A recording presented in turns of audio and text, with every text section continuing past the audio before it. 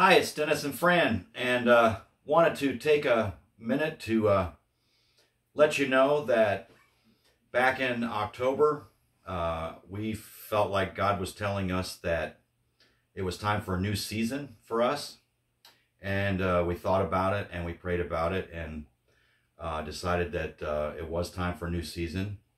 But we wanted to, knowing that it was coming up on Advent and Christmas and the new year and Lent and Easter and post Easter, we uh, figured that it would be only fair to our leadership, pastors, uh, SPRC, and Aldersgate as a whole to uh, have May 30th be our last Sunday.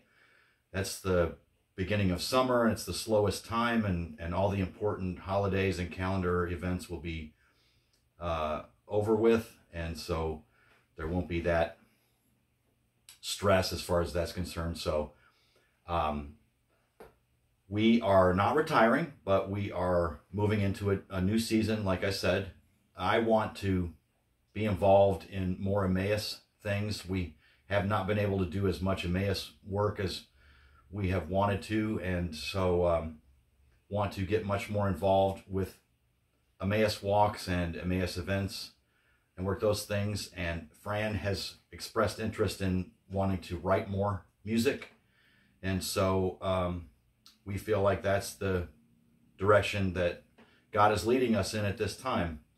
Very much uh, am grateful for and appreciate the, the time here at Aldersgate. It's been 15 years, and uh, it seems like uh, sometimes it's only been five minutes, but um, we, we uh, have been blessed. We've had answered prayers, and uh, we have grown, and we've learned so much over this time, and are very appreciative of you allowing us to lead you in worship all this time. And uh, we hope to get to see you soon and talk to you soon. We love you. And uh, this is a, it's a new season for us and it's a new season for Aldersgate. And I pray that God will bless Aldersgate and us and you uh, during the coming time. And uh, again, we love you and we'll miss you. And I'm sure that we will see you soon. God bless.